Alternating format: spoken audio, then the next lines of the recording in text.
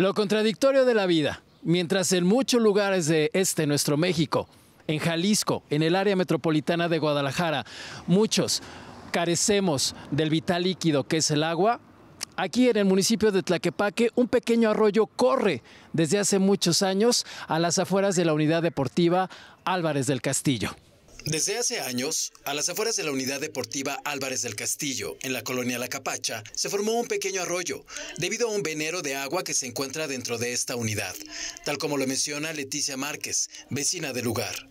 De hecho, si ya tiene muchos años aquí, este, creo que hay un venero allá desde la, adentro de la unidad, no sé si lo entubaron o no sé qué le hicieron, pero aquí es donde se emboca, pero ya tiene muchos años, pero siempre está el agua corriendo hacia afuera, pero no tiene ningún beneficio.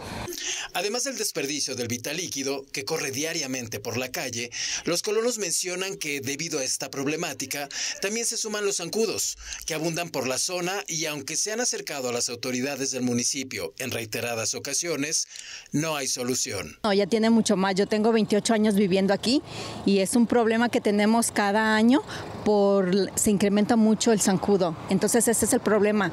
Nos van a, a este fumigar, pero dicen que mientras no tengamos algo aquí este, uh, un remedio para esto, no vamos a dejar de descansar. Uh, hemos ido aquí a, este, a la alcaldía.